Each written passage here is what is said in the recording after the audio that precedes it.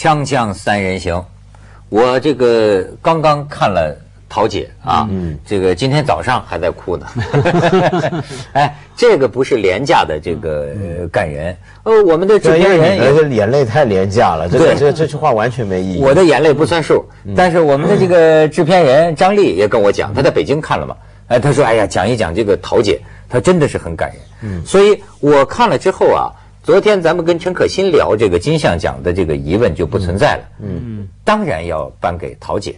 嗯，这个让子弹飞，它已经在票房上。已经在商业上收获了很多的成功了，对吧？哎，那么作为香港电影金像奖，我认为那当然是桃姐。嗯，这个这个这个格不低啊，就是平平淡淡当中啊，这种见出很多很多的东那西。那我蛮惊讶的，因为我以为说这种香港片题材也很非常本土的，嗯，像我小时候家里也有请佣马姐人嘛哈，马姐哈，她不算长期的马姐，短时间有来过，我们才感觉到那种感动的地方。我觉得我是好奇说，为什么内地的观众看了还是会哭哈？哎是哭你们请不起马姐是请不起这么好的 佣人。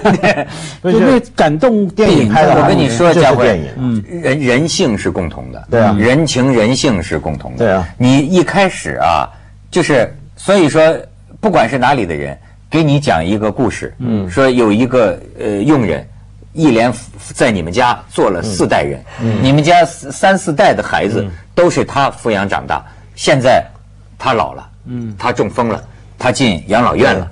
他要走向这个人生的终点，对。这个东西，全世界为什么我我我就讲啊，就是说为什么我觉得陶姐应该得这个奖，我完全这个这个这个能够认同啊，嗯，就是讲老实话，好比说他们都说让子弹飞得了很多大奖，嗯，但是让子弹飞不管有多么多大的意义哈，它也属于一个电影娱乐工业，照我看，但是要照我看，桃姐这个电影啊，某种程度上属于必看的，嗯，为什么？嗯。因为谁都得走到这一步。嗯，你知道吗？从多个方面讲，老了不是你少看一个娱乐片，也许你也不挡吃不挡喝，不缺什么哈。但是我觉得看看这个片子啊，呃，没有人能够不动容。嗯，因为呢，说的恰恰不是什么香港人，而是现在全人类啊。对，你知道，我甚至就说它有什么社会作用呢？我看完之后啊，我会有这么一个想法，就是说，我在香港也算纳税人嘛，是吧？我觉得如果是民主，那么有个候选人说，我们把更多的钱给这个香港的老人，为他照顾，把让他们照顾得更好，嗯。我总是会同意的。我觉得如果我是个选民，他说给十亿，我会同意的。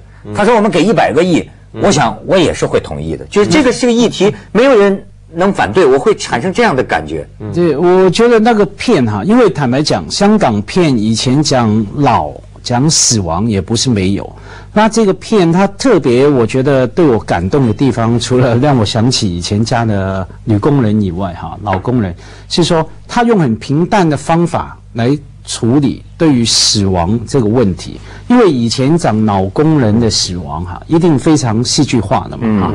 那以前像我这一次进去看，我以为一定有的情节，居然没有。我刚开始有点被骗的感觉。嗯，我以为到电影放到第六十分钟的时候，总应该有个谜解开了嘛。原来桃姐跟她爸爸以前有一腿，总有了吧？以为桃姐会说，其实你是我儿子，总有了嘛，又没有。或者说都到最后啊，以为那个叶德娴去世以前一定会讲一大段话嘛，对不对？我少爷，对不起，我没办办法照顾你，你以后孝顺一点，不要再把你妈妈惹生气了。他虽然对你好凶，可是他还是爱你的。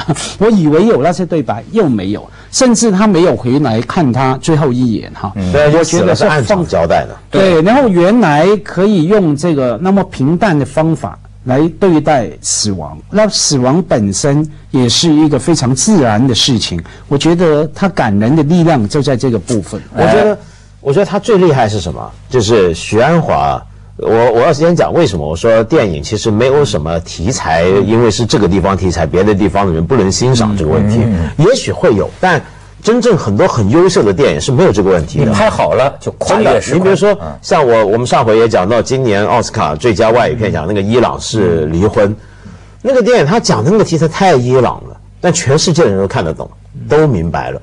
为什么呢？是因为它跟你的拍摄方法有关，反而。比如说讲《桃姐》这个电影，大家都说它很平淡，让我想起来许鞍华之前其他电影好几部也大家都说很平淡，像天水围的《日与夜》。嗯，但是这个平淡，你回想起来，它是怎么样的平淡法？它其实有大量非常不平淡的对于细节的关注。嗯，那些细节是平淡的，但是他投给他的关注不平淡。我举一个很简单的例子，在《桃姐》这个电影里面，叶德娴，他呃。住进养老院之后，他后来还回过一次家嘛，对不对？对。就刘德华带他回家，回家那次你有没有注意他？他回家之后东摸摸西摸摸收东西，一进门就看到那个猫又来了。你那时候你马上那个感觉就是，这是他大概是最后一次，嗯，进入他住了几十年的这个家，摸摸那个猫，你这个感觉是强烈到让你觉得很多老人，今天那么多老人，他们最后一次离开家，去医院，去养老院。以后再也出不来了。嗯，那个时候那是什么样的一个情况？他在那个家最后走一片，看的是什么？所以他平淡不是无味，不是无味，平淡有味。对，但是这个有味啊，真的是通过这个，所以我说他这个格真的不低啊，这艺术的品格呀，就是关于要不说叶德娴这次我也能理解了，连拿三座这个影后的这个大奖，那绝对是值。就是说。他，因为他可能跟许鞍华呀共同打磨出来的。其实很多个你说的这种平淡当中的细节啊，就发生在他的一个小小眼神儿。嗯，比如说一个老人刚进养老院，其实女女佣四代的女佣也是有自尊心的，对吧？一开始你看他这个细节打磨的，一开始，呃，就是呃，我不让你们主人家管我，说你告诉那个奶奶太太哈，就是我老了做不动了，我不做了。我辞职，我辞职了，我辞职。没错，可是实际上这个东西也没有煽情，我觉得它也是如实的反映人生。比如说要像你说的，要照着感人的态度，呃，感感感人的套路。刘德华说：“怎么能进养老院呢？我就是你的亲儿子，就来搞这个也没有嘛。因为最后知道人生的无奈，对吧？刘德华怎么有可能给他真的养老呢？所以只有进养老院，像这种孤寡老人嘛。那进去之后，你注意他刚进去之后，这个眼睛。哎呀，我就觉得没有夸张的这个表演，但是看了就心酸，你知道吗？你一下子就想起啊自己的父母亲，嗯，如果有一天不得不进养老院，他们会是一个第一眼呢，对他来说是个特陌生的一个地方。对，哎呦，然后呢，你就像家辉说的一样，你也以为他接下去会掉入一个套路，这养老院肯定是像地狱一样黑暗，但是后来发现呢，也不是，不尽然。它是各种各样的养老院里似乎也有他的一些小情趣，而且养老院里面你看到有不同的老人嘛，不同的态度，我也蛮喜欢秦沛那种角色嘛，那，就是住进养老院，坦白讲。还可以小奸小坏一下哈，这个钱去嫖嫖妓哈，对对，然后跟住在那边的老太太调情哈，我觉得说他把整个说通俗一点哈，把整个缩影啊，老人社群的缩影放在那边，然后我觉得那个说自然的话那种。感染力就在这里，好像每个人你都找到自己，或者说你曾经见过某一类的老人啊，好像在出现在老人院那边。特别叶德娴演的好啊，我们在香港啊，我是看着叶德娴长大的。我们小时候我经常说嘛，有几个 很喜欢的熟女嘛，英女王是一个哈，叶德娴是第二个，哈哈很性感的，嗯，她那个很很呃那个媚态是很好的。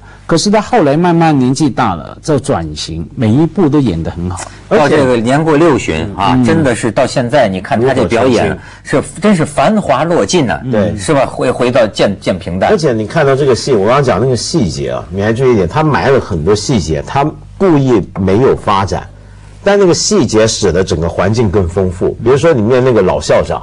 嗯，那些人不是老在喜欢跟人说英文，喜欢教训人嘛，对不对？最后还念了一首李商隐的那个诗，蜡炬成灰泪始干。但是他一直有一个呃选圣诞装饰，对不对？一个玻璃球嘛，那个圣诞装饰对他来讲似乎意味十分深远，很重要。一拿出来他就对着他呆呆看，但是就仅此而已。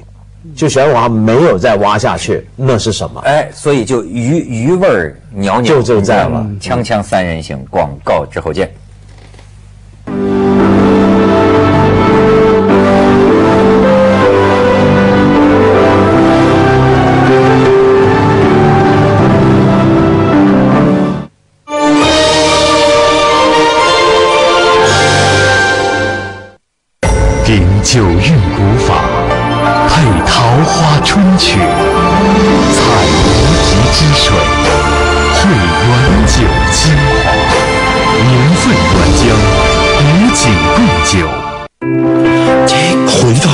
海，发现真正的自己。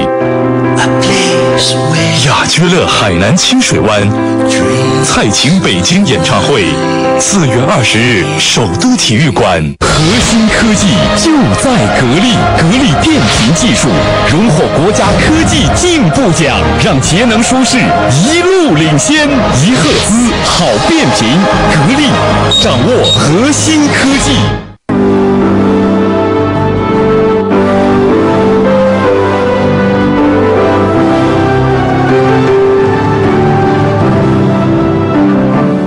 且我觉得呢，就是徐安华导演他有个很特别的地方，就是他不轻易下判断，嗯，他不轻易下判断，也不轻易有一个很鲜明的立场，在拍之前就先树立出来，所以他也比较少对某些人物角色做很典型化的处理。对他总是在听，总是在看那些人会怎么样。比如说举一个例子。我当年看天水围的日与夜的时候，那里面那个包起静，她演的那个妈妈桂姐，她有个儿子嘛。那个儿子呢，我们一般人任何人看都觉得这个小孩太没出息，坏透了。